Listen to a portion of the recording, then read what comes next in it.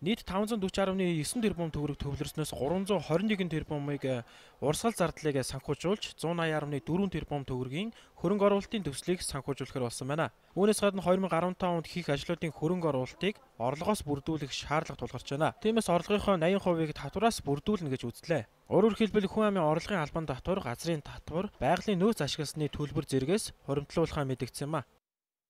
2015 оны төсвийн баримталж байгаа гол зорилго чиглэл бол нийгмийн чиглэлд одоо нийгмийн аюулгүй тайван байдлыг хангах за хүүхдүүдийг одоо бага насныхныг сургууль цэцлэгээр одоо төлхөө хангах зэрэг одоо аюулгүй байдлыг хангасан, тайван байдлыг хангасан энэ чиглэл рүү чиглэсэн ийм төсөв зохион байгуулагдж байгаа. Төсвийн хөрөнгө оруулалтаар 180 орчим тэрбум төгрөгийн төсвийн хөрөнгө оруулалтын за үүнээс замын сангийн хөрөнгөөр 30 тэрбум за 140 орчим тэрбум төгрөгөөр хотын шууд төсвийн хөрөнгө оруулалтыг бол хийн.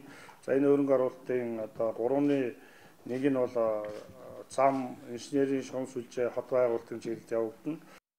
Түүнчлэн сургууль цэцэрлэгийн барилгажилтад бодит хөрөнгө оруулалт чухал байгаа. Өнгөрсөн онд улсын төсөв Азийн хөгжлийн банк, Дэлхийн банк зэрэг санхүүжилтээр 88 цэцэрлэг сургуулийн ажил эхлүүлсэн. Харин эх онд нэг сургууль, хоёр бага сургууль цэцэрлэгийн цогцлбор 19 цэцэрлэг ашиглалтад оруулахаар төлөвлөжээ.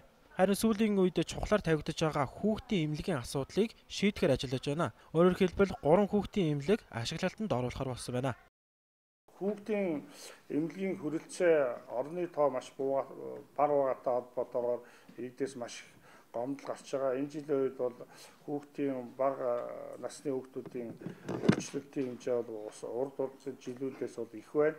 Энэ бол нэлээд анхаарал татсан юм асуудал байна.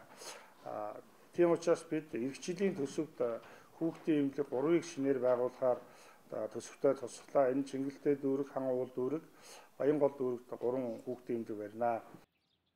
Харин иргэдийн шүүмжлэлд өртөөд байгаа хогны ногоон уутын асуудлыг тодруулсан юм а. Өөрөөр хэлбэл эх онд иргэдийн хог хаягдлын төлбөрөөс 14 орчим тэрбумыг төвлөрүүлнэ гэж мэдгдлээ. Үүнийг буцааж хогны уут болгонд тараахаар төлөвлөсөн байна. Хичээлээс бол тэр уутнуудыг бүгдийг өнгөтэй болгоно. Өнгөтэй болгоод өөрөөр хэлэх юм бол одоо ахын хогийн тусдаа, цаасыг нь тусдаа, хуунцрыг нь тусдаа гэдэг Ингээд энэ соёл маань өөрөө цаашаа яваад орон сууцчлуулаад ирэхлээр орон сууцны хорооллуудаас эхлээд өөр өөр өнгийн хогийн савнуудыг тавьж эхэлнэ. Ингээд өөрөөр хэлэх юм бол бид иргэдээ нийгмийн соёл руу оо хөтлөөд яваад байгаа хэрэг шүү дээ. Гэтэ бид нар энийг хотын төсвөөс цааш мөнгө гаргаж хийж байгаа юм биш. Ерөөсөө иргэдээс авч байгаа тэр мөнгийг бол бид нар буцаагаад яг тэр хогны уудыг зарцуулчихж байгаа юм. Гол нь нийслэлийн төсвийн мөнгийг нийгмийн салбарт зарцуулах нь чухал байгаа.